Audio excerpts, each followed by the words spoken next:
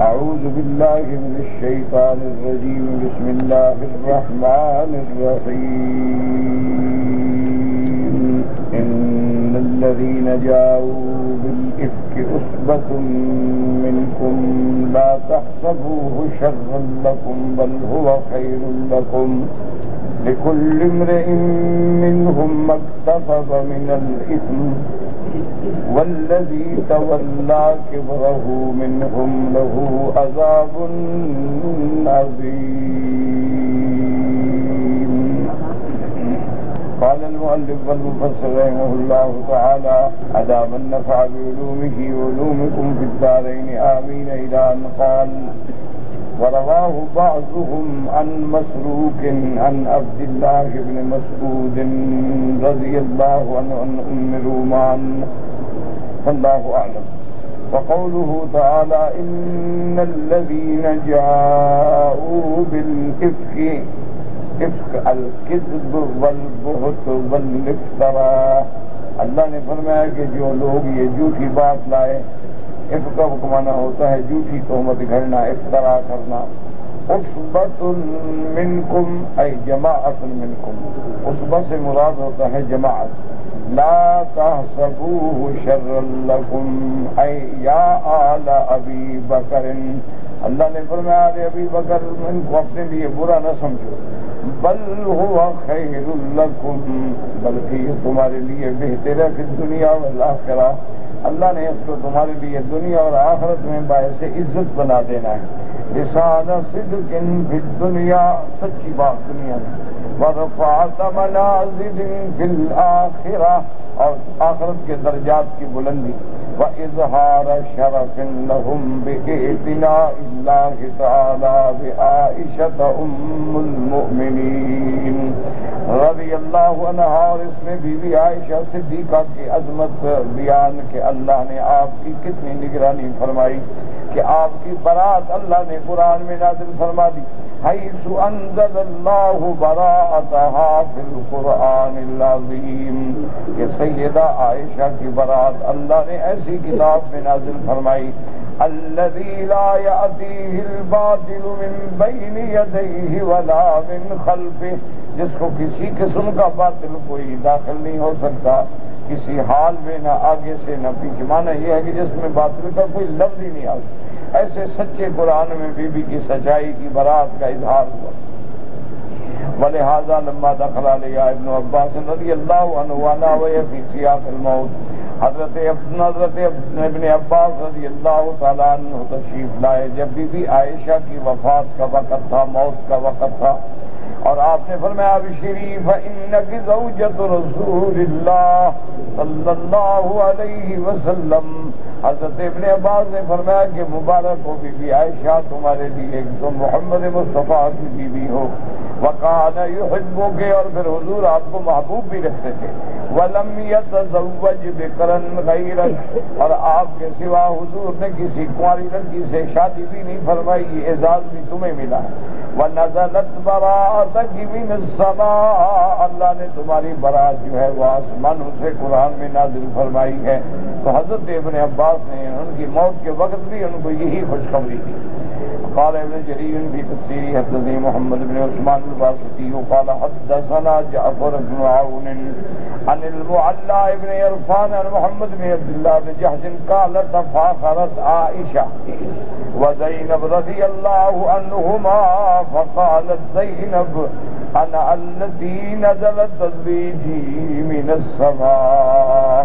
اس حدیث میں آتا ہے، حضرت عبداللہ ابن جاج فرماتی ہیں کہ بی بی عائشہ اور بی بی زینب رضی اللہ تعالی عنہ کے درمیان میں تفاخر یعنی آپس میں مکالمہ ہوا کہ میری شان زیادہ ہے یا آپ کی شان زیادہ تو بی بی زینب رضی اللہ تعالیٰ عنہ نے فرمایا کہ عائشہ، میں تو وہ خوش نصیب ہوں کہ جس کی تجویز اللہ نے آسمانوں سے فرمائی یعنی میرا نکاح اللہ نے آسمانوں سے کر دیا۔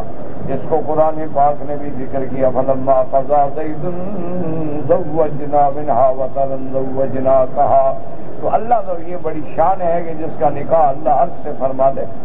کہا اس کے بعد بی بی عائشہ نے فرمایا ان الذی نظر عذری بھی کتاب اللہ حين حملني صفوان بن المعطل على الراحلة. بی بی عائشہ نے فرمایا، لیکن میری شان بھی تو دیکھو کہ میری صفائی اللہ نے قرآن میں نازل فرمائی۔ اللہ تبارک و تعالیٰ نے جب مجھے صفان عبد المعطل قافلے سے دور سے اٹھا کے اونٹنی پہ سوار کر کے لائے اور دشمنوں نے تہمت لگائی، تو میرے اللہ نے میرا عذر بیان فرمایا۔ وقالت لا زینب یا عائشہ، ما قلت ہی قلتہین رکبتیہا بی بی زینب نے پوچھا کہ بی بی عائشہ، جب آپ اونٹ پہ سوار ہوئیں، اس مصیبت کی گھڑی میں آپ کی زبان سے کیا نکلا تھا؟ بی بی فرماتی ہیں، قالت قلت حسبی اللہ و نعم الوکیل۔ قالت قلت کلمت المؤمنین۔ بی بی عائشہ نے فرمایا کہ میری زبان پہ اس وقت یہ کلمہ تھا، حسبی اللہ۔ حسبی اللہ ونعم الوکیل۔ تو بی بی زینب نے فرمایا کہ واقعی عائشہ، تم نے وہ کلمہ کہا ہے جو ایمان والے دکھ کے وقت کہتے ہیں۔ تو یہ کلمہ مبارک جو ہے، اس کی بڑی شان ہے۔ بڑی عظمت ہے اور اس پر علماء نے کتابیں بھی لکھی ہیں کہ سیدنا ابراہیم کو جب آگ میں ڈالا گیا، ان نے بھی یہی کلمہ بتایا اسی طرح جب بی بی حاجرہ کو آپ نے مکے میں چھوڑا، انہوں نے بھی یہی کلمہ کہا۔ اور یہ تو قرآن میں موجود ہے نا کہ جب جنگ عہد پر صحابہ کو خبر ملی، دشمنوں کے آنے کی فزادوهم ایمانا فقالوا حسبنا اللہ ونعم الوکیل تو ہر مصیبت کے لیے اور بڑے سے بڑے دشمنوں سے بچنے کے لیے یہ کلمہ اکثیر ہے. اس کا پڑھنا جو ہے، بس بعض علماء تو فرماتے ہیں، تین سو پڑھو، بعض پانچ سو، لیکن جتنا ہو پڑھتے رہو. چلتے، پھرتے، اٹھتے، بیٹھتے، وضو ہے، نہیں ہے، بس حسب اللہ ونعم الوکیل. وقوله تعالى لكل امرئ منهم ما اكتسب من الاسم اي لكل من تكلم في هذه القضيه علماء من المؤمن عائشہ رضی اللہ عنہ بشيء من الفائز عظیم من العذاب. اللہ نے فرمایا کہ جس بندے نے بھی اس قضیے میں بات کی اور بی بی عائشہ کی تہمت میں شریک ہوا ہے، اور ایسی پوری تہمت لگائی، اس کا حصہ ہے عذاب عظیم میں سے. والذی تولا کبرہ منہم له عذاب نظیم۔ اے قبل ابتدا بھی، جس نے سب سے پہلے اس مسئلے کی ابتدا کی، کیونکہ سب سے بڑا ظالم تو وہ ہے نا، البادی ازلم جو آدمی ابتدا کرے وہ ظالم ہوتا ہے تو اس قصے کی ابتدا کرنے والا جو ہے عبداللہ ابن ابئی ابن سلول ہے رئیس المنافقین۔ وقیل الذي كان يجمع يستوشيه ويذيعه ويشيعه یہ وہی ظالم ہے جو یہ باتیں اکٹھی کرتا تھا، پھر لوگوں میں پھیلاتا تھا۔ تو اصل ابتدا کرنے والا یہی ہے۔ اس کے لیے اللہ نے بطور خاص فرمایا، لہو عذاب عظیم اس کے لیے بہت بڑا عذاب ہے اللہ ظالم ثم الاكثرون على ان المراد بذلك انما هو عبد الله ابن ابي بن سلول قبحه الله تعالى ولعنه۔ تو جمہور یہی فرماتے ہیں کہ اس سے مراد، والذی تولى كبره سے مراد جو ہے عبداللہ ابن ابی ابن سلول ہے، جس نے اس فتنے کی ابتدا کی۔ وهو الذي تقدم النص عليه في الحديث. وقال ذلك مجاهد وغير واحد. بل کے بعد علماء کہتے ہیں کہ رب المراد بھی اسعد بن ثابت، لیکن یہ قول غریب ہے. ولولا انه وقع في صحيح البخاري ما قد يدل على ايراد ذلك لما کان لی ارادی کبیر فائدت کیونکہ حضرت حسان تو صحابی ہیں، عاشق رسول ہیں، مداح رسول ہیں، شاعر رسول ہیں۔ اتنا غلطی ضرور ہوئی ان سے کہ وہ بھی اس میں شریک ہو گئے۔ لیکن یہ نہیں کہ وہ فتنہ گھڑنے والے ہوں۔ فتنے کی ابتدا کرنے والا عبداللہ ابن عبی ابن سرور، فَإِنَّهُ مِنَ الصَّحَابَةِ کیونکہ حضرت احسان تو صحابی ہیں، الَّذِينَ لَهُمْ فَضَائِلْ وَمَنَاقِبْ وَمَاثِرْ جن کی شان ہے وَأَحْسَنُ مَاصِرِي أَنَّهُ كَانَ يَزُبُّ عَنْ رَسُولِ اللَّهِ صلی اللہ علیہ وسلم بشیرہی اور سب سے بڑی تعریف تو اس کی یہ ہے کہ وہ ایسا شاعر ہے جس نے ہمیشہ حضور کے دشمنوں کو جواب دیا حضور کی شان بیان کی، حضور کی شان میں قصیدے لکھے اور دشمنوں کا رد کرتا رہا۔ بس اتفاق ہے، انسان بڑے بڑے لوگ ہیں، ان کے پاؤں بھی پھسل جاتے ہیں۔ اس کے بعد فرماتے ہیں والذی قال رسول اللہ حاجہم وجبریل ماک اللہ کے نبی نے جس کے شان میں فرمایا تھا کہ حسان مذمت کرو قریش کی، اللہ کا جبریل تیرے ساتھ مدد کر رہے ہیں۔ وقال اللہ مشن بالزوال مسوق قال كنت عند عائشة رضي الله تعالى عنها فدخل حسن صفحة منظر قالوا إسادة فلما خرج قلت يا ما تصنعين بهذا؟ یعنی يعني يدخل عليك وفي رواية كذا زمين لهذا يدخل عليك وقد قال الله والذي تولى كبره منهم له عذاب عظيم قالت، وأي عذاب نشد من العمى وكان قد ذهب بصره لعل الله أن يجعل ذلك هو العذاب العظيم. ایک دن بی بی عائشہ رضی اللہ تعالیٰ عنہ کے پاس حضرت حسان آئے، ملنے کے لیے آئے تو بی بی نے اجازت دی ملنے کی اور سرانہ بھی دیا کہ بچھا کے اس کے اوپر بیٹھے۔ تو جب وہ مل کے چلے گئے تو لوگ بی بی انہیں کہا کہ بی بی آپ نے کیا کیا؟ یہ بندہ تو ہے جو آپ پر تحمت لگانے والوں کو اور آپ اس کی اتنی مدد کر رہی ہیں سرانہ دے رہی ہیں، ملنے کی اجازت دے رہی ہیں، گھر میں داخل ہونے کی اجازت دے رہی ہیں۔ بی بی نے فرمایا، اللہ کے بندے، اگر باقی عذاب عظیم سے مراد یہی ہے، تو بیچارہ اندھا تو ہو گیا ہے، اور کیا عذاب ہو؟ یہ تو عذاب ہو گیا اس کو دنیا اس کافی ہے، اس کے زیادہ اور کیا چاہیے؟ شاید یہی وہ عذاب عظیم ہے جو اللہ نے اس کو دنیا میں دے دیا ہے۔ ثم قالت انه كان ينافع عن رسول الله ان رسول الله صلى الله عليه وسلم دخل عليها شيرا يمتدحها به اور اس کے بعد بی بی نے کہا، دیکھو حسان کچھ بھی ہو، لیکن وہ میرے مدنی کے دشمنوں کو رد کرتا تھا۔ حضور کی جواب دیتا تھا، حضور کی طرف سے دفاع کرتا تھا، لہذا میں اس کو اپنے آنے سے نہیں منع کر سکتی ہوں۔ اور یہ بھی کہتی ہے کہ جب حضرت احسان آئے تو بی بی کی شان میں بھی فرمایا، ایسان رضان بات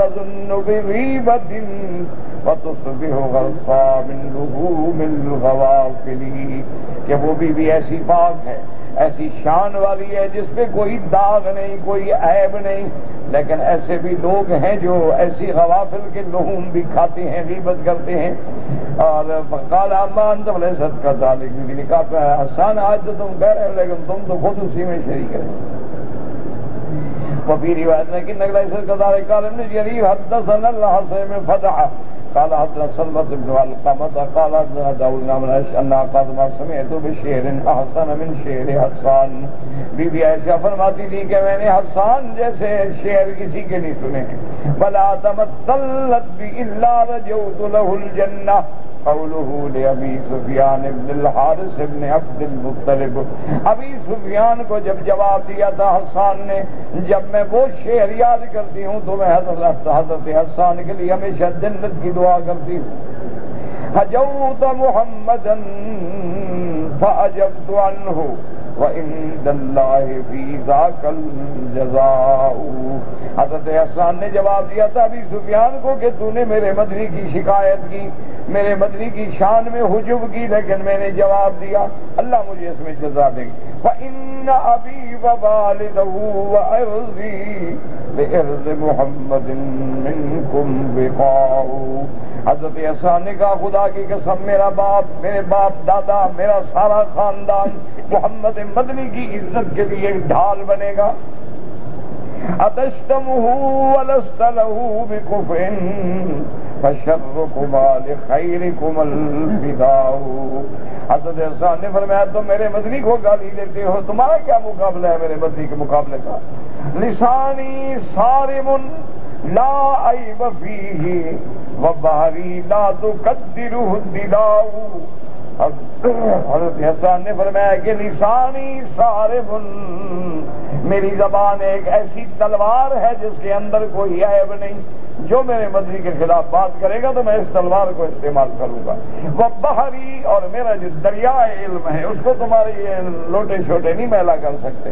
تو حضرت حسان حضور کی طرف سے جواب دیتے ایک دفعہ حضور کو حضرت حسان نے عرض کیا گیا رسول اللہ، قریش نے آپ کی شان میں بڑی مذمت کوتاہی کی ہے۔ مجھے اجازت دیں کہ میں جواب حضور باغ نے فرمایا، حسان، اجازت تو میں تم کو دے دوں، لیکن میں بھی تو قریشی ہوں نا۔ جب تم قریش کی مذمت کرو گے تو میں بھی تو قریش میں سے ہوں۔ تو پھر ان کو کیسے جواب دو گے؟ کہنے کا خدا کی قسم، حضور مجھے جواب دینے کی اجازت تو دیں میں آپ کو تو ایسے نکال لوں گا نا جیسے بال مکھن سے نکالا جاتا۔ ہے آپ کی ذات میں تو حرف بھی نہیں آئے۔ حضور نے فرمایا اچھا ہی جاتا۔ تو پھر حضرت حسان کھڑے ہوئے اور حضور نے آپ کے لیے ممبر رکھوایا اور حضور دعا کرتے رہے اللہ ہو روح القدس، کہ اللہ جبریل کے ذریعے میرے شاعر کے دل و دماغ میں مضامین ڈال تو یہ نعت خان محمد مصطفیٰ، حضور کی نعت پڑھنا، نعت سننا سب جائز ہے۔ سوال صرف اتنا ہے، فرق اتنا ہے کہ محمد مدنی کی نعت کو ڈھول تماشے نہ بناؤ۔ کہ کہیں تبلا بج رہا ہے اور ہارمونیم بج رہا ہے اور شان محمد مصطفیٰ بھی آن ہو رہی یہ تو مذہبی شیطان ہے ان کا کیا تعلق ہے شان محمد مصطفیٰ اسی طریقے سے بعض لوگ جو ہیں، حضور کی نعت ہو رہی ہے اور بیویاں بے پردہ بیٹھی ہوئی ہیں۔ یہ کون سی نعت ہے بھائی؟ یہ تو نعت خانی نہیں یہ تو فتنہ۔ یہ تو بدعات منکرہ ہیں کہ ان کے اللہ نے فرمایا کہ عورت کو تو قرآن زور سے نہ پڑے اس کی کوئی آواز نہ سنے۔ اسی لیے اللہ نے عورت کو اذان دینے کی اجازت نہیں دی کہ اس کی آواز کوئی نہ سنے۔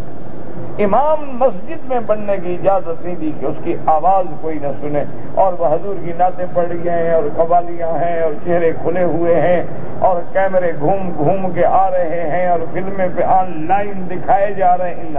ہیں وہ اس نعت خانی کی محفل میں عجب نہیں بلکہ اللہ کے عذاب کے حقدار ہے یہ تو توہین محمد مصطفیٰ۔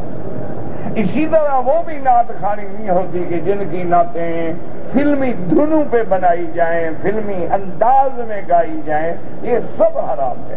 مگر نہ نعت خانی ہو شعر ہوں، مدہ ہو، قصیدہ ہو محمد مصطفیٰ کا، اس کا تو نعوذ باللہ انکار کرنے والا کافر ہو جائے گا، جس کی شان خود خدا نے بیان کی ہو تو بندہ کیوں نہ بیان کرے؟ لیکن شان ہوتی ہے نا جیسے حضرت حسان بیان کرتے تھے، اور جیسے اور صحابہ نے کہا وہ احسن من قلم ترقت تو آئینی وہ اجمل من قلم تر دل گساؤ محمد مصطفیٰ، تیرے جیسا جمال کسی آنکھ نے دیکھا نہیں اور تیرے جیسا خوبصورت کسی ماں نے جینا ہی نہیں۔ تو اسی طرح جیسے پہلے بزرگوں نے کہا، بلغ العلا بکمالہی کشفت دجا بجمالہی حسنت جمیع خصالہ، صلو علیہ وآلہ اللهم صل على سيدنا محمد وعلى آل سيدنا محمد كما صليت على إبراهيم سیدہ عائشہ نے حضور کی شان میں قصیدہ کہا، فرمایا کہ اس کے بعد فرماتی ہے کہ، لنا شمس وللآفاق شمس وشمسی احسن من شمس السمائی۔ فرمایا، ایک دنیا کا سورج ہے، ایک عائشہ کا سورج ہے۔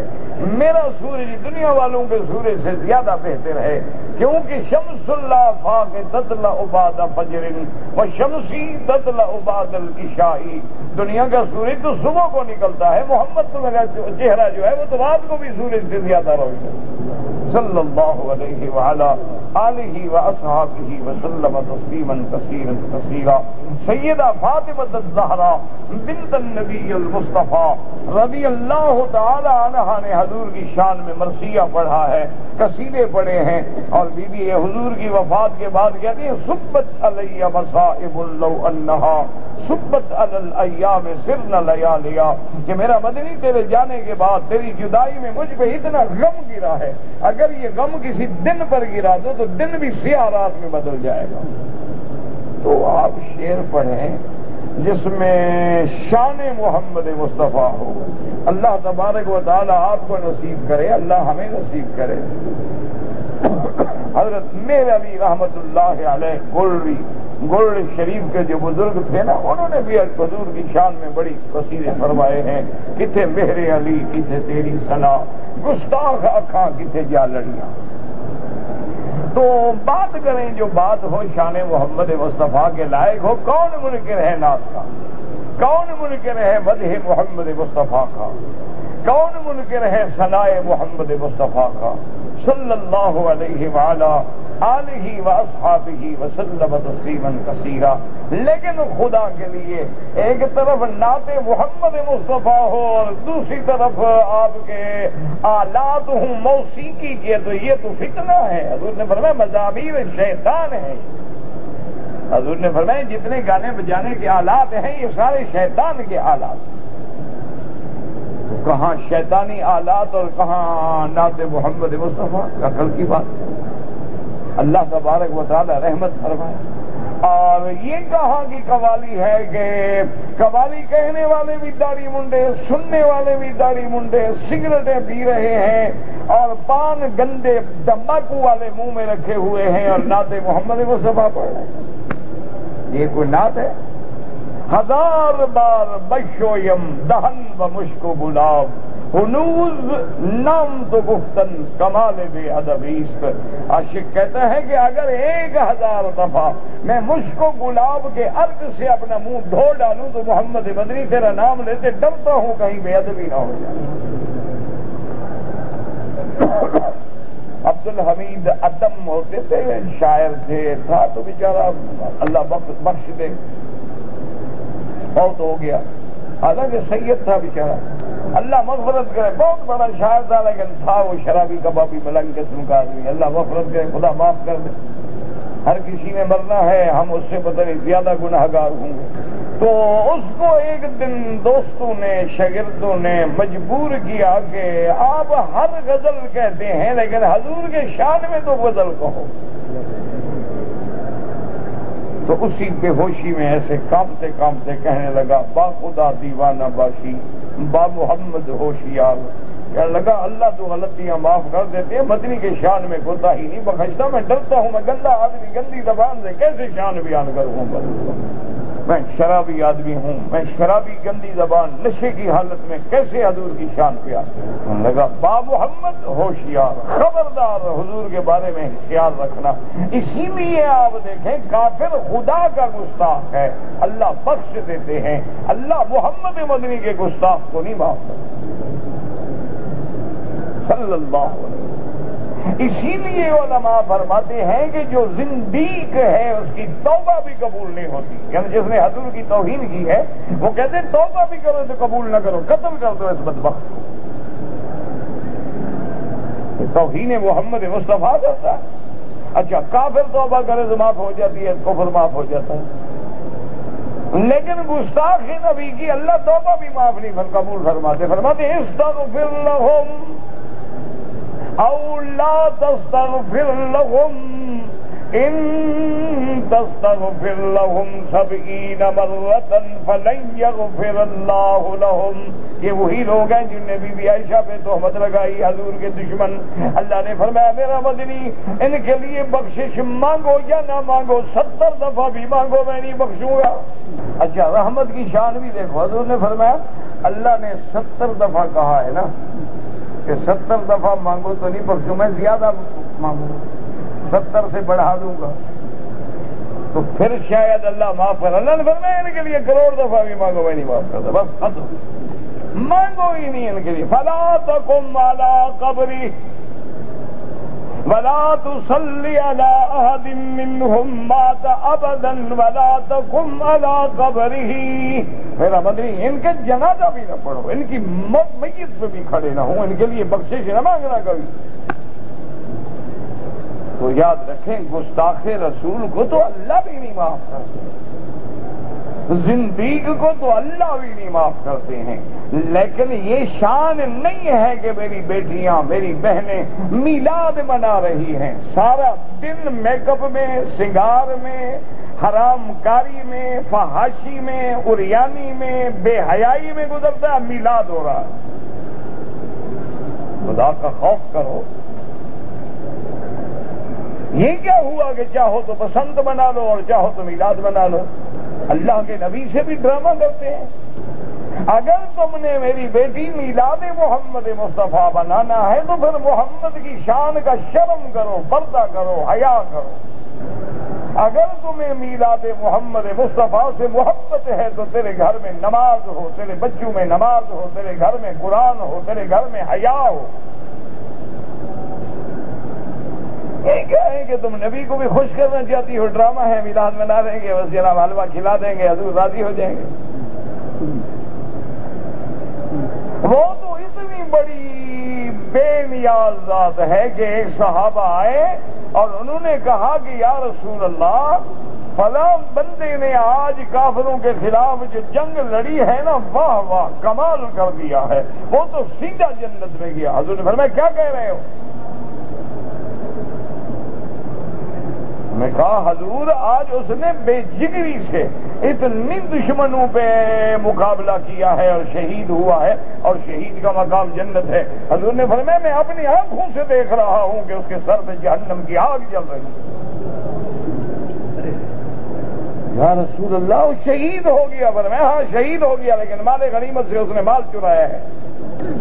شہید چوری میں پکڑا جا رہا ہے اور ہمارے گھروں میں فلمیں چلتی ہیں، نماز نہیں ہے، اذان نہیں ہے، قرآن نہیں ہے، میلاد منا رہے ہیں۔ قرآن خانی جی آج آیت قریبہ پڑھا دو میرے خامن پہ مشکل آ گئی ہے۔ اللہ کو دھوکہ دے رہے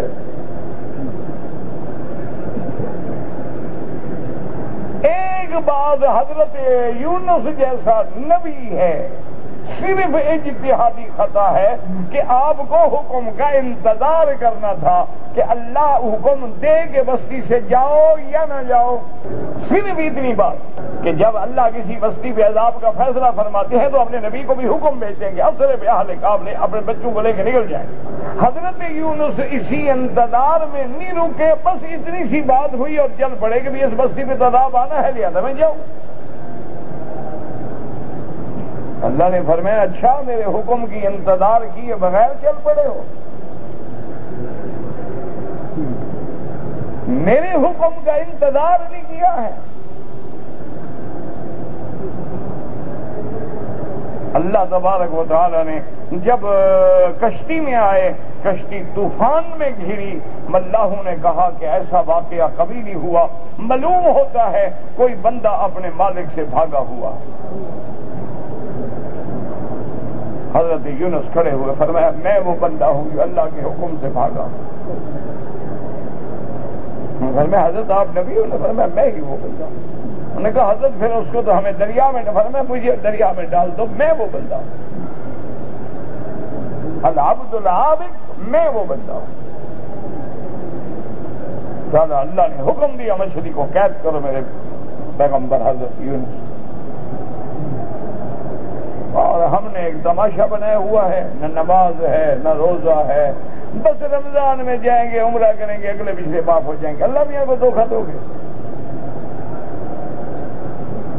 کسی نے کہا ہے؟ ٹھیک ہے، رمضان کے عمرے کا اللہ آپ کو اجر دیں گے، لیکن جو بے حیائی کرتے ہیں، اس کی سزا نہیں دیں گے۔ اچھا کام کرو گے تو اجر ملے گا پورا کام کرو گے تو سزا بھی دے گی۔ بھمیا عمل مثقال ضرورت خیر نہیں مثقال ضرورت شر نہیں یہ تو نظام ہے۔ اس لیے ہمیشہ یاد رکھیں، اگر آپ نے محبت اور عشق رسول ہے، خدا کے لیے پھر اپنی زندگی کو بدل ڈالو زیادہ نہیں کر سکتے ہو، کم از کم فرض نہ چھوڑو، بس۔ اگر تم سے زیادہ نہیں ہو سکتا نا، ہم تو بس کچھ بھی نہ کرو، صرف نماز فرض ہے، مر جاؤ نماز نہ چھوڑو۔ بیمار ہو، کھڑے ہو کے نہیں پڑھ سکتے، بیٹھ کے پڑھ لو۔ بیٹھ کے پڑھنے میں بھی تکلیف ہے، ٹیک لگا کے اشارہ کر لو، نماز ہر حال میں پڑھو، نہ چھوڑو۔ پانی منع ہے، وضو منع ہے تیمم کر لو غسل نہیں کر سکتا ہے، پلیت ہے، جنابت کی حالت میں ہے، بیمار ہو گیا ہے، نماز کا وقت ہے، تیمم کر کے نماز پڑھ لو، اشارے سے پڑھ لو، کسی طرح پڑھ لو، حاضری لگا لو، نماز فرض ہے، رمضان کا روزہ فرض ہے، اللہ پیسے دے تو ڈھائی پرسینٹ زکات ادا کرنا فرض ہے، اللہ امیر بنائے تو زندگی میں ایک دفعہ حج کرنا فرض ہے۔ بس یہ فرائض کو پکڑو اور منکرات سے بچ جاؤ، زنا سے، ڈاکے سے چوری سے، قتل سے، ناحق تہمت لگانے سے، بڑے بڑے کبائر گناہوں سے بچ جاؤ، پھر اللہ کی رحمت اور خوف سے تعلق رکھو، انشاءاللہ بیڑا پار ہو جائے گا۔ باقی تم کہو کہ نماز نہ پڑھیں، بس پیر بڑا مضبوط ہے، تو انشاءاللہ پیر تمہیں خود اپنے ہاتھ سے جہنم لے جائے گا۔ فکر نہ کرو۔ وہاں اللہ نبی کے بیٹے کو نہیں بخشتے تو پیر کہاں بخشے جائیں گے؟ وہ ایک لطیفہ مشہور ہے نا، ایک آدمی ٹرین میں بیٹھا ہوا تھا۔ تو اس نے پوچھا، حضرت آپ کا اس میں گرامیہ سے کہا، حضرت خاک سار کو کلب علی کہتے ہیں؟ اس نے کہا، حضرت، یہ کیا نام ہوا علی کا کتا؟ میں نے کہا جی بس نام رکھ لیا ہے، حضرت علی کے کتے بن کے جنت میں چلے جائیں گے۔ اس نے کہا جی وہاں اللہ میاں کا کتا بھی نہیں جاتا، علی کے کتے کو انہوں دے گا؟ پیر چھڑا لیں گے سب ڈھکوسلے ہیں۔ جو خود نماز نہیں پڑھتا تمہیں چھڑا لے گا۔ جس کی اپنی آکبت کا پتہ نہیں ہے تمہیں چھڑا لے گا۔ بس فرائض اللہ، یہ عرب کیوں کامیاب ہے ایمان سے؟ نہ یہ نفلیں پڑھتے ہیں، دیکھا ہے آپ نے، نہ تصویریں مارتے ہیں، نہ ایک ٹانگ پہ کھڑے ہو کے چلے کاٹتے ہیں۔ کبھی دیکھا ہے ان کو؟ بیٹھے ہیں، بیٹھے تو سنت بھی نہیں پڑھتے۔ کیونکہ ان کے نزدیک سنت موقع غیر موقع کا تو مسئلہ ہے نہیں۔ ان کے نزدیک سنت ہے۔ پڑھ لیا، ثواب ہے، نہ پڑھو ثواب۔ ان کے ہاں معقدہ غیر معقدہ واجب کی تقسیم ہی نہیں، یا فرض ہے یا سنت۔ سنت پڑے گا، ثواب ہے، نہیں پڑے گا، تو کوئی یار فرض پڑھ کے بیٹھ جائیں گے کھجور کھا رہے، کہا پی رہے، سنت ہی نہیں پڑتے لیکن کیا ہے؟ عقیدہ پہاڑ کی طرح پکا ہے۔ ٹکڑے کر دو شرک نہیں کرے گا۔ ٹکڑے کر دو کبھی غیر اللہ کے آگے نہیں جھکے گا۔ ٹکڑے کر دو کبھی گیارہویں، چھیارویں اور قبروں پہ جا پہ خیراتیں نہیں چلائے گا۔ اور اس کو پتا ہے کہ رمضان کا مہینہ آ رہا ہے، جو کمانا ہے اسی میں کما لو، اسی میں لنگر چلائیں گے، کھجوریں چلائیں گے، سبیلیں چلائیں گے، ساری ساری رات تحجت میں کھڑے رہیں گے، قرآن میں کھڑے رہیں گے، سارے سال کی نعمتیں اللہ سے رمضان میں مانگ کے جیب میں ڈال کے گھر چلے جاتے ایک ہم ہیں جناب ماشاء اللہ جہاں جھنڈا نظر آیا، سجدہ۔ جہاں قبر پہ دیا جلتا ہوا نظر آیا، مرشد۔ یا غوث مہربانی کروا وہ خود مر گئے ہیں، تم سے کیا مہربانی کریں؟ نہ وہ زندہ ہے اپنی قبر کی مٹی تو ہٹا نہیں سکتے، تھوڑی گرمی دور ہو جائے۔ تمہیں چھڑا لیں گے۔ کوئی عقل کرو، خدا کا خوف کرو۔ اگر کوئی کسی قبر سے مانگنا جائز ہوتا؟ اللہ کا کعبہ میرے سامنے ہے۔ سب سے پہلے محمد مدنی سے مانگا جائے۔ میرا ایمان ہے کہ کائنات کی کسی ولی کیا کسی نبی کی قبر بھی میری مدنی کی قبر کا مقابلہ نہیں کر سکتی۔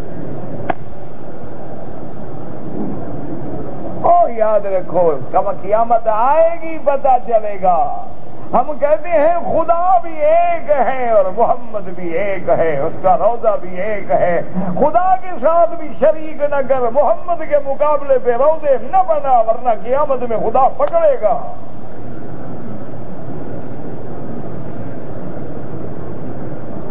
ہم نہیں توہین کر رہے، تم توہین کر رہے ہو محمد مصطفیٰ۔ ہر جگہ تم نے روزہ بنا دیا ہے کہ حضور کے روزے پہ جانے کی پھر ضرورت ہی کیا ہے؟ ہر جگہ تم نے مشکل کشا پیدا کر دیے ہیں۔ ہر جگہ تم نے حاجت روا پیدا فرما دیے ہیں۔ یہ زندہ پیر ہے، یہ مردہ پیر ہے، یہ ظاہر پیر ہے، یہ پیر صحابی ہے، یہ پیر عجائب ہے، یہ عجیب بات۔ اچھا جو فوت ہو گئے، انہوں نے بھی کبھی نہیں کہا کہ میری قبر پہ آگے ایسا کرو۔ اللہ ان کی قبروں پہ کروڑوں رحمتیں فرمائے۔ اللہ ان کی قبروں کو باغ جنت بنائے، انہوں نے کبھی نہیں کہا۔ عبد القادر جی لانی نے لکھا ہے کہ جو بندہ نکاح کرے کسی عورت کے ساتھ اور کہے کہ اللہ گواہ ہے اور دوسرے گواہ محمد مصطفیٰ ہے، فرمایا وہ کافر ہو جاتا ہے۔ اس نے محمد مدنی کو ہر جگہ حاضر نازر مانا۔ یہ لکھنے والے بیرانے بیر ہیں۔ یہ مرشد حضرت عبد القادر جیلانی نے لکھا ہے کہ جو یہ عقیدہ رکھے کہ اللہ بھی گواہ ہے کہ اللہ تو ہر چیز جانتے ہیں اور محمد مصطفیٰ بھی گواہ ہے مانا خدا کے مقابلے پہ لے آیا ہے نبی کو یاد اس نے حاضر نادر سمجھا ہے، اس نے شرک کیا ہے، کافر ہو گیا۔ کہ لوگ کہتے تھے نا ہاں، جی اللہ رسول گواہ یہ کہنے سے بندہ سیدھا کافر ہو جاتا ہے۔ سمجھ آیا مسئلہ؟ عمرے پہ آئے ہیں، پوچھو حضرت کب تشریف بس یہ حضور نے بلایا ہے، اس کو خدا نے نہیں بلایا، اس کو حضور نے بلایا ہے۔ اچھا حضور جب عمرہ کرنے آئے، ان کو کس نے بلایا؟ یعنی نبی کو تو خدا بلاتا ہے، تمہیں نبی بلاتا ہے۔ اللہ نے کہا دفاع ہو میرے پاس آنے کے قابل ہی نہیں ہے، تم بلا بلا لو۔ عقل کرو، بلانے والا کون ہے؟ اللہ نہ چاہے، یاد رکھو، مکے میں رہتے ہوئے بھی عمرہ نصیب نہ ہو۔ میں نے ایک دفعہ سفر کیا تھا دمام سے کار پہ، تو جو ڈرائیور تھا، اس کو میں نے خالص عربی، خالص بدو، نسلی عربی۔ یہ بھی نہیں کہ نقلی عربی ہو، دو نمبر۔ نسلن اصلن عرب تھا۔ تو میں نے اس کو کہا بھی طائف میں فلاں جگہ گاڑی روکنی ہے میں نے احرام باندھنا ہے۔ خیر، وہ آ گیا، اس نے پیسے لینے تھے، اس کو کیا تکلیف ہو سکتی تھی؟ اس نے آگے گاڑی روکی، مجھے کیا یہ کیا ہوتا ہے عمرہ؟ یہ کیا ہوتا ہے میکات وہ میں نے کہا، اللہ کے بندے، تمہیں پتہ نہیں ہے میکات ہے، عمرہ ہوتا ہے، مکہ شریف جائیں گے، طواف کریں۔ انہوں نے کہا، میری عمر اس وقت ساٹھ سال ہو گئی ہے۔ میں تقریباً ہفتے میں تین دفعہ مکے آتا ہوں۔ میں نے تو کعبہ ہی نہیں دیکھا۔ میں نے اس کے لیے احرام خریدا۔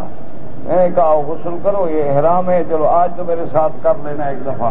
کہتا ٹھیک ہے، اللہ تجھے جدا دے یار، مجھے عمرہ کروا دو۔ کیسے ہوتا ہے عمرہ؟ تو ہم نے احرام باندھا، اس کو بتایا بیگ پڑھائی۔ میرے ساتھ آیا، عمرہ کیا، بدو تھا نا، عرب تھا۔ اب وہ کیا میں کرایہ نہیں دیتا۔ خدا کے بندے عجیب بات ہے، اس دور میں پانچ سو ریال بڑا کرایہ ہوتا تھا۔ پانچ سو ریال، کیونکہ پوری گاڑی تمام سے آئی تھی، کار تو پانچ سو ریال کرایہ طے تھا میں آپ سے کرایہ نہیں دوں گا۔ آپ نے تو مجھے کعبہ دکھا دیا، میں نے ساٹھ سال میں نہیں دیکھا۔ میں نے کہا بس تم مجھے پیر نہ بناؤ، کہ لے لو۔ اور حلال کے ہیں الحمدللہ، یہ حرام کے نہیں ہیں پیسے۔ انہوں نے کہا میں بھی بدوں میں نہیں دوں گا۔ میں نے کہا اچھا خیرات کا تو کہا تم میری طرف سے کر۔ نے کہا یہ کو بات ہے، ساٹھ سال گزر گئے، میں نے تو خدا کا کعبہ ہی نہیں دیکھا۔ تو خدا کا شکر کرو کہ اللہ ہمیں گھر میں لایا ہے۔ کہہ دو الحمد للہ الحمد للہ الحمد للہ دعا کرو کہ اللہ اس گھر کے برکات، ثمرات نصیب فرما۔ ہمیں اس گھر میں آنے کے بعد اپنا بنا لے۔ ہمارے عقیدے بدل دے۔ ہمارے اعمال بدل دے۔ یا اللہ مشرق کو موحد بنا دے۔ بدعتی کو محمد مدنی کی سنت کا شہدائی بنا دے۔ گناہ گاروں کو میرا اللہ تین والا بنا دے۔ اللہ ہماری نسلوں کی بھی حفاظت فرما۔ یا اللہ مسلمان جس ملک میں ہے، اس کی جان، مال ابرو عزت کی حفاظت فرما۔ دعا کیا کرو اللہ کے کعبے میں۔ ایک گھڑی، ایک نماز تمہیں حرم میں نصیب ہو جائے۔ اللہ کا شکر۔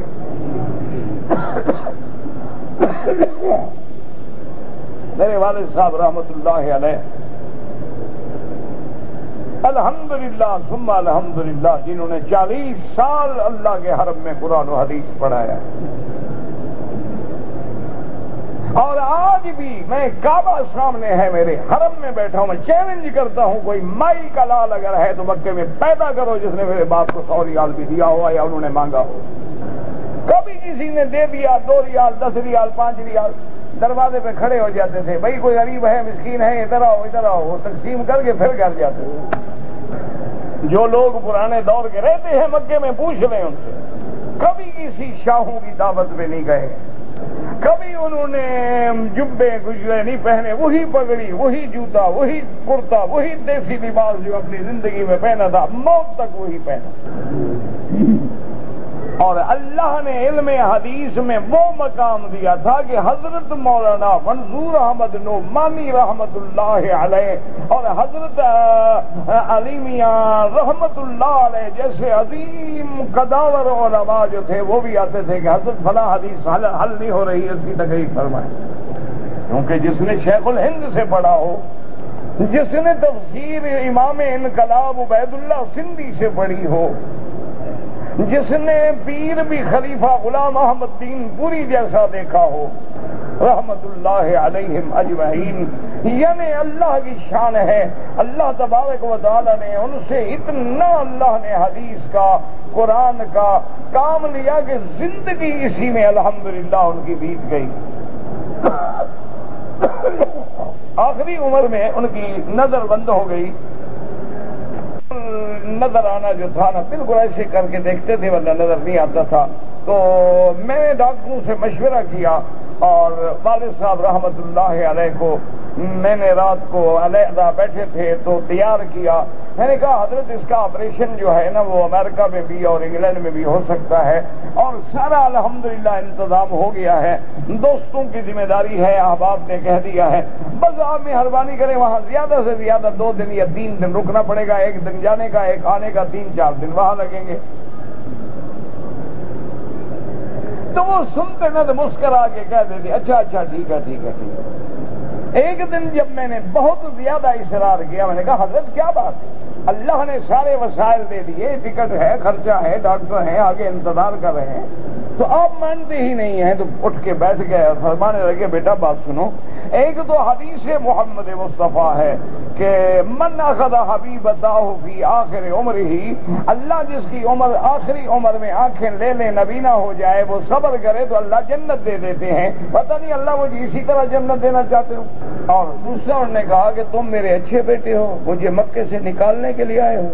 القیام فیہا سعادت والخروج منہا شقاوت اس کی ایک گھڑی سعادت ہے اور نکلنا جو ہے بدبختی ہے اچھے میرے بیٹے ہو، مجھے بدبخت بنانے آئے ہو کہ میں آپریشن کے لیے اللہ کا کعبہ چھوڑ دوں۔ بس ٹھیک ہے، میں اللہ کے فیصلے پہ راضی ہوں۔ اور ویسے بھی وہ خدا کی قدرت آخری دن تھے۔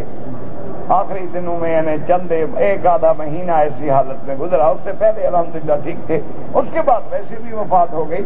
تو وہ یہ فرماتے تھے کہ اگر اللہ مکے مدینے کی ایک گھڑی ادب سے نصیب کر دے تو تیری ساری زندگی سے بہتر بس مہربانی کر کے دعا کیا کرو، اللہ ہمیں حیات اب تم بسم اللہ اللہ اکبر، حجر اسد کو کر رہے ہو دیکھا اور تم رہے ہو، تو پھر آنے کا کوئی پیدا نہیں۔ اس سے گھر بیٹھے رہو، بہتر ہے۔ طواف بھی کر رہے ہو ماشاء اللہ سبحان اللہ الحمد للہ سبحان اللہ سبحان اللہ سبحان اللہ، اور تم کو بھی دیکھ رہے ہو، کیا فائدہ اس سے گھر مرو زیادہ بہتر اگر حرم میں آ کے تم نے ٹیلی فون کی گھنٹیاں بجانی ہیں تو لانت ہے ایسے آدمی کا یہ اللہ کا گھر ہے کہ موسیقی بجانے کی جگہ ہے۔ تم گانے کی دھنے لگا کے خدا کے کعبے میں آتے ہو اور اللہ کے عذاب کو دعوت دیتے ہو۔ خدا کا خوف کرو، حرم میں داخل ہو، بند کر دو۔ کون سا تم ہارڈ لائن پہ بیٹھے ہو کہ پریزیڈنٹ نے تم سے رابطہ قائم کرنا ہے؟ اللہ ہے ادھر آدمی نماز پڑھے اللہ اکبر. ادھر گانا لگا ہوا ادھر آدمی کہتے سبحان ربی اللہ عظیم ادھر گانا ڈا کرتا ہے. یہ مسلمان ہے؟ کون کہتا ہے یہ مسلمان؟ خدا کا خوف کرو اور اللہ اگر ہمت دے تمہارے ساتھ جس کی گھنٹی بجے ایک دو دفعہ تو سمجھاؤ، نہ سمجھے نہ ایک دفعہ لے کے توڑ دو، جان چھوٹے۔ کوئی غضب نہیں ہو جائے گا۔ دو چار ٹوٹیں گے نہ عقل آ جائے گی سب کو، انشاءاللہ۔ ایک دفعہ پیار سے سمجھا دو کہ جی بند کرو بکواس۔ اللہ کے حرم میں موسیقی، گانے۔ اچھا بعض اتنی گندی دھنے ہیں، اتنی خبیص دھنے ہیں کہ شیطان بھی نہ سنے۔ اس کے بعد جناب بی بی صاحبہ فرماتی ہیں، وکیل یا ام المؤمنین لیس هذا لغوا قال انما اللغو ما قيل عند النساء. قال رسول الله عليه الله يقول تو کہا گیا ام المومنین یہ جو ہے، کیا یہ کلام لغو نے کہا؟ نہیں، لغو تو وہ ہوتا ہے جو شاعر عورتوں کی تعریفیں کریں، بالوں کی تعریفیں کریں، حسن و جمال کی تعریفیں کریں، جو حضور کی تعریف کرے، وہ کیسے لغو ہے؟ وہ تو شان محمد مصطفیٰ ہے۔ قالا کالا کالا غذاب وكنا بالسيف تعني الضربة ضربه إياها صفان مطر السلمين بلغون يتكلم في ذلك فعلاه بالسيف وقال يقتله تو انہوں نے کہا، بی بی، آپ نے کیوں اجازت دی حسان کو؟ انہوں نے کہا، دیکھو، اللہ نے اس کو اندھا کر دیا اور اس کو وہی تلوار کی مار کافی ہے جو صفوان نے اس کو ماری تھی۔ جب اس کو پتا لگا نا کہ میری تحمت لگانے میں یہ بھی شریک تلوار لے کے لیکن الٹی ماری شکر ہے کہ مر نہیں گیا اس سے۔ تو بہرحال اللہ تبارک و تعالیٰ سے دعا کریں۔ اللہ تبارک و تعالیٰ ہمیں صحیح معنی میں مسلمان بنا دے اور حضور کا غلام بنا دے۔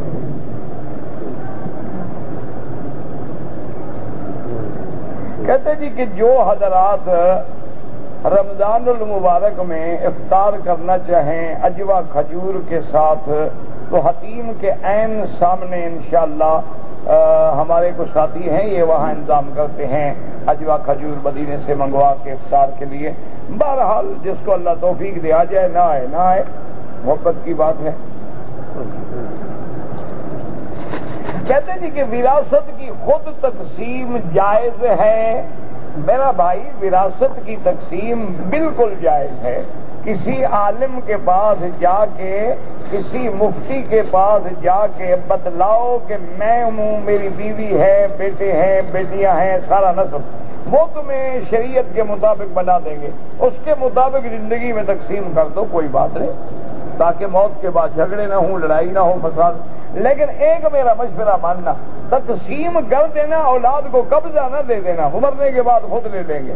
ورنہ انشاءاللہ وہ تمہیں تو کل ہی فارغ کر دیں گے نا۔ یہ خیال رکھنا ہے انشاءاللہ۔ آج کی اولاد بڑی فرما بردار ہے۔ جس دن تم نے ان کے ساتھ زمین کر دی نا، انشاءاللہ دوسرے دن آپ مکہ شریف عمرہ کرو، ثواب کماؤ۔ اپنے پاس قبضہ ضرور رکھنا۔ ہم نے کئی دوست دیکھے ہیں ہمارے یعنی کہ پچاس پچاس مربع زمین ہیں، ان نے بیٹوں کو دے دی، وہ بیچارے بیٹھے ہوئے ہیں۔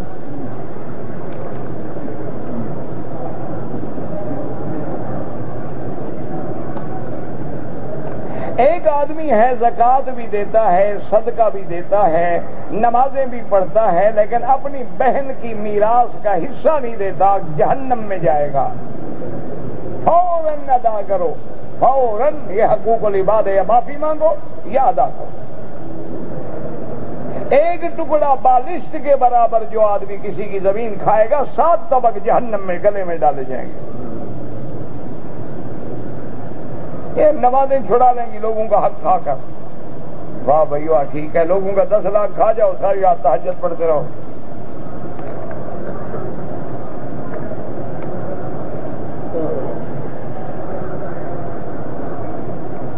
ہمارے ہاں اکثر زکوٰۃ جو ہے پیشہ وروں کو دی جاتی ہے، نہ دیں نا پیشہ وروں آپ زکاتیں اپنی مدارس میں دیں اور مدارس دینیا کو جا کے بتلائیں گے یہ زکوٰۃ کے پیسے ہیں تاکہ اس کو وہ زکوٰۃ کے مطابق خرچ کریں۔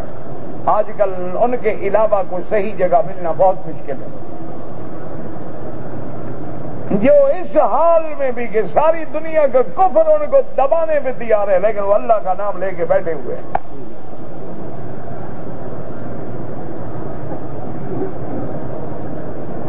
کہتے جی کہ موبائل میں قرآن پاک ریکارڈ ہوتا ہے، اس کو ہم میں لے جاتے ہیں، بہرحال نہ لے جانا بہتر ہے۔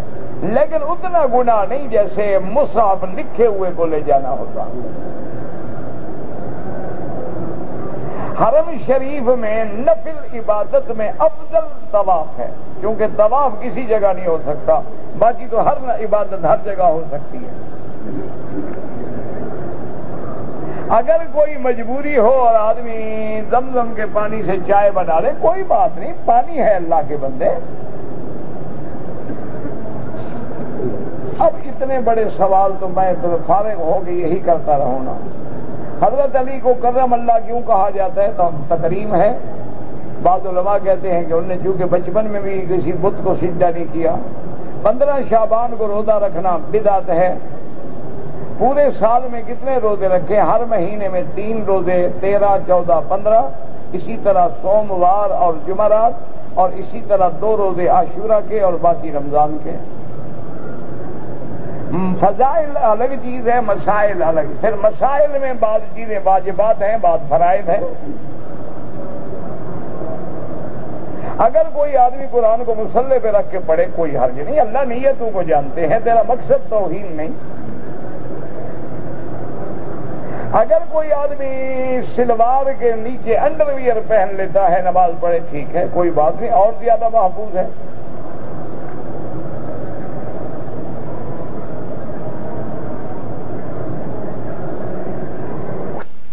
دونوں لڑکے آپس میں برا کام کریں، توبہ کریں، استغفار کریں اور آئندہ اس لانت سے بچیں۔ ورنہ اس کی سزا شریعت میں قتل کے بعد آگ آگ میں ڈالنا۔ ہے کوئی آدمی مدرسے یا مسجد کے جندے میں سے کمیشن لیتا ہے، ٹھیک ہے، آخر وہ جو جاتا ہے وصولی کرنے، وہ کہاں سے کھائے گا؟ حضور کے زمانے میں جب لوگ زکوٰۃ کے لیے عامل بھیجے جاتے تھے تو ان کو تو مزدوری دی جاتی تھی۔ یہ کیا ہے کہ وہ ڈلے نو کرے تمہارا؟ اچھا دیکھو، یہ باقی سبزی منڈی میں کمیشن کا مسئلہ نہیں پوچھیں گے۔ اڑے گا، یہی مدرسہ ہے۔ یہ کیونکہ دین کا کام ہے یہ یہی اٹک جائے گا۔ حالت سفر میں قضا نمازوں کو حالت اقامت میں کیسے پوری کرے، جو نماز سفر میں قضا ہوئی، ادا بھی اسی طرح سفری نماز کرے گا۔ جو حضر میں قضا ہوئی، اس کو پوری ادا کرے گا۔ اگر مقتدی فرش پہ کھڑے ہیں، امام مسلح بچھا دے، کوئی حرج نہیں۔ نماز میں بھیڑ ہونے کے باوجود جہری نمازوں میں امام مائک استعمال نہ کرے، اگر مکبر کا انتظام ہے، لوگوں کی نماز خراب نہیں ہوتی، تو سپیکر کا استعمال نہ کرنا افضل ہے، حضور نے کبھی نہیں کیا۔ یہ تو مجبوری ہے۔ بغیر ٹوپی کے نماز ہو جاتی ہے، لیکن یہ مسئلہ نہیں کہ ہو کے اتار کے پھینک دو۔ وضو کا پانی کھڑے ہو کے پینا سنت ہے، پی سکتا ہے۔ جمعہ کی نماز واجب ہے، فرض ہے فرض ہے۔ جمعہ کے بعد پہلے دو رکعت سنت ہیں یا چار؟ پہلے چار، بعد میں بھی چار۔ اگر خفین کا حصہ پھٹ جائے، جس میں پانی داخل ہو جائے، تو مسا ناجائز ہے۔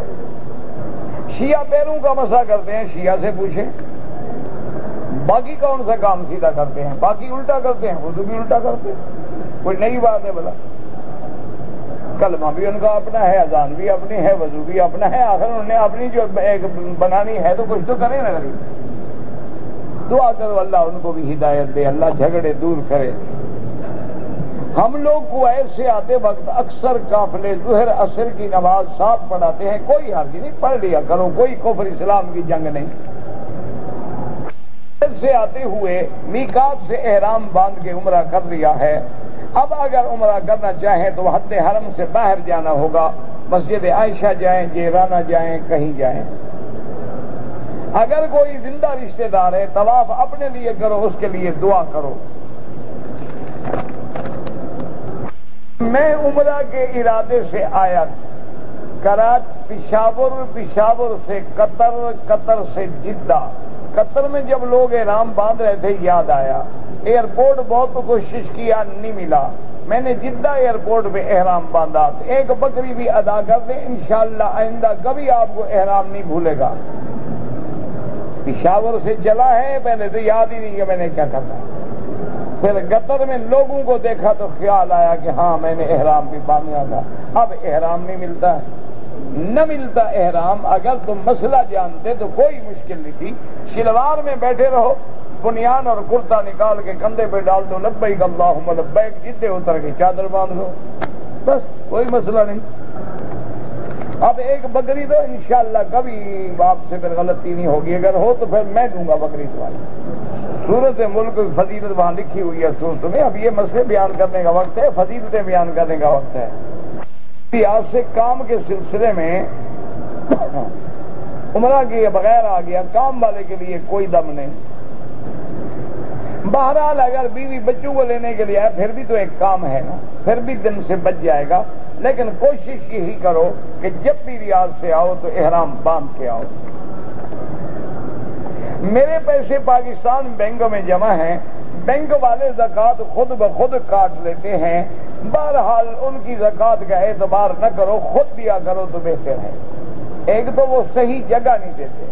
دوسرا، جب وہ کاٹتے ہیں تو ان کو آپ نے وکیل شرعی نہیں بنایا کاٹنے کی اجازت ہی نہیں دی۔ تیسرا، ان کا حال یہ ہے کہ اگر جون میں کاٹنی ہے، پیسے مائی میں آئے تب بھی وہ کاٹ لیں گے۔ حالانکہ سال نہیں گزرا۔ تو زکات کیسے کٹ گئی؟ وہ تو چکر ہے، ڈھونگ ہے۔ اچھا پھر جن کو زکات دیتی ہے نا جی مدرسے والوں کو پچاس ہزار کا چیک دے تو پانچ ہزار پہلے کلرک لیتا ہے کہتے ہیں پانچ ہزار پیچھے لے دو، تو پچاس کا چیک لے جاؤ۔ اچھا اللہ کا شکر ہے، دینے والا بھی حرام کھا رہا ہوتا ہے، آگے بھی صرف بورڈ لگا مدرسہ وہاں بھی نہیں ہوتا۔ جو صحیح مدرسہ ہے، وہ ایسی غلطیاں کرتے بھی نہیں، الحمدللہ۔ شریف میں ایک نماز کا ثواب ایک لاکھ ملتا ہے یا ایک رکعت کا؟ رکعت نماز سے باہر ہے۔ عقل کرو، خدا کا خوف کرو۔ اشد اللہ الہ الا اللہ حدیث میں ہے۔ رفع دین جو کرتے ہیں، انشاءاللہ ان کی نماز بھی درست ہے، جو نہیں کرتے ان کی بھی درست ہے۔ یہ چیونٹی کی تحقیق پر وہ اخبار پڑھ واشنگٹن پوسٹ میں خبر آئی تھی، اب مجھے نام تھوڑے یاد ہیں ان کے۔ نماز میں جب کھڑے ہوں تو پاؤں برابر ہوں، یہ ضروری نہیں ہوتا کہ پاؤں پہ پاؤں رکھو۔ مانا ہے کہ گٹے کے برابر گٹا ہو، کندھے کے برابر کندھا ہو۔